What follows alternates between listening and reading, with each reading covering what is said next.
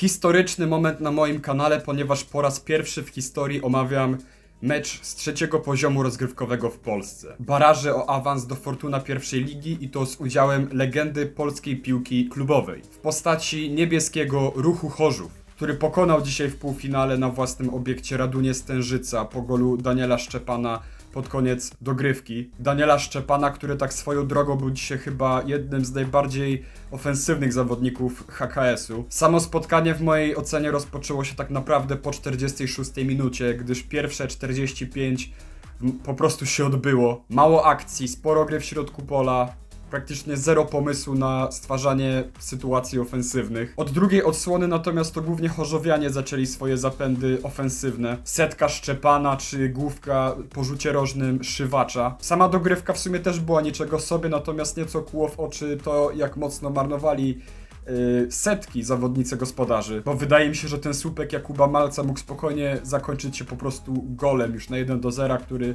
rozwiązałbym nam to starcie wcześniej. No ale tak jak mówiłem, nie trwało to długo, bo w końcówce Szczepan trafił gola na 1 do 0 i rozstrzygnął nam to, nam to starcie. A propos tej sytuacji, piłkarze Raduni mieli pewne roszczenia a propos sędziego Skuczborka y, przybyła, że był tam faul na zawodniku ze Stężycy, natomiast wydaje mi się, że całkowicie nic tam nie było. No i co no, powiem wam szczerze, że jestem dość podekscytowany, że omawiam mecz Ruchu Chorzów na tym kanale, bo jeszcze po kilku ostatnich latach wydawało mi się, że nigdy zespół z Chorzowa nie zagości na moim kanale. A tu proszę, no, omawiam mecz legendy polskiej piłki nożnej z niekwestionowalnym topem, jeśli chodzi o liczbę kibiców w Polsce, bo chociażby w drugiej lidze wyjazd ruchu Chorzów do Rzeszowa był chyba ilu? 3000? Także to zdecydowanie mówi samo za siebie. Także co, ruch awansował do finału i dołączam się jeszcze do akcji nowy stadion dla Chorzowa. A Radunia Stężyca mam wrażenie, że najlepiej tak naprawdę zagrała w tej pierwszej odsłonie, ale nie nazwałbym jej w wykonaniu zespołu ze Stężycy jakąś ultra fantastyczną, tylko po prostu taką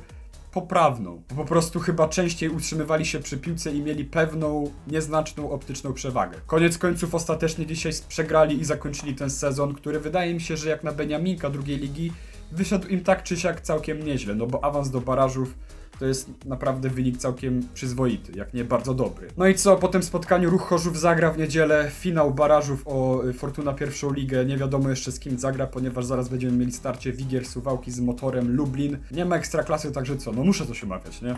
Dzięki za uwagę i pozdrawiam Was.